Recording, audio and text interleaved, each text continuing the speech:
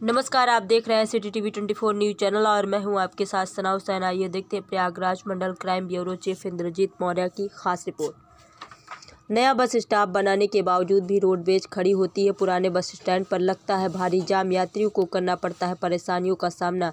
फतेहपुर जनपद के नगर पंचायत खागा द्वारा बनवाया गया नया बस स्टॉप, जो नगर के मानू के पूर्वा में स्थित है, लेकिन रोड पेज बसें नए बस स्टॉप पर न खड़ी होकर पुराने बस स्टॉप पर ही खड़ी हुई हैं, जिससे बस स्टॉप पर भयंकर जाम की स्थिति बन जाती है, जबकि इसी जाम से निजात पाने के लिए नया बस स्टॉप बनाया गया था। लेकिन रोडवेज़ बसों के ड्राइवर, कंडक्टर नए बस स्टॉप पर नहीं रोकते, जिससे यात्रियों को भी परेशानी का सामना करना पड़ता, जबकि लोगों ने बताया कि नए बस स्टॉप पर रोज़ सवारियाँ आती हैं, लेकिन बस न रुकने पर मजबूरी में फिर पैसे लगाकर ई रिक्शा या अन्य साधनों से पुराने बस स्टॉप जाती हैं।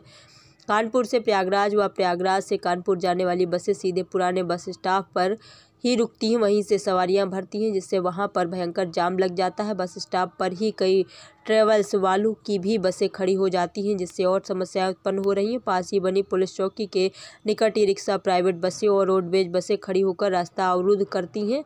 वहीं कुछ लोगों का कहना है कि रोडवेज़ बस ड्राइवर व कंडक्टर को फ्री में चाय नाश्ता मिलता है, इसी के लिए वहाँ रोकते हैं। वहीं नया बस स्टॉप मानू के पूर्वा में एक दुकानदार ने बताया कि यहाँ रोज़ सवारियाँ आती है, घंटों खड़ी रहती है, लेकिन रोडवेज़ न रुकने पर फिर से पैसे लगाकर पुराने बस स्टॉप जाने को मजबूर हो जाती हैं। इसी जाम से निजात पाने के लिए पुलिस प्रशासन ने बीते दिन लगभग नौ रोडवेज़ बसों का चालान भी किया, लेकिन कोई फ़र्क नहीं पड़ा।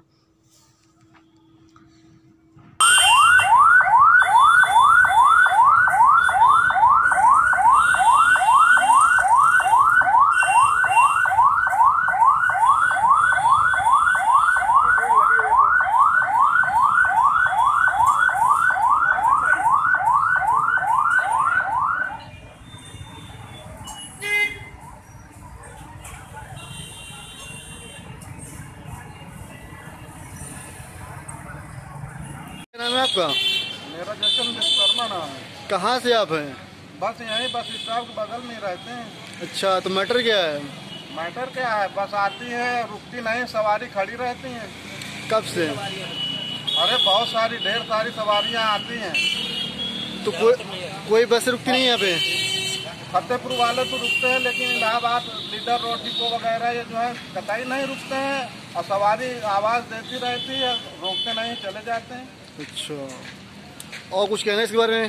इसके बारे में यही कहना है कि बताइए नगर पंचायत में जो है करोड़ों रुपए की संपत्ति उनके हवाले करती दी रोडवेज़ के उनके लिए सुविधा प्रदान कर दी लेकिन कोई रिस्पॉन्स ही नहीं दे रहा रोडवेज़ विभाग। मैं जयचंद विश्वकर्मा।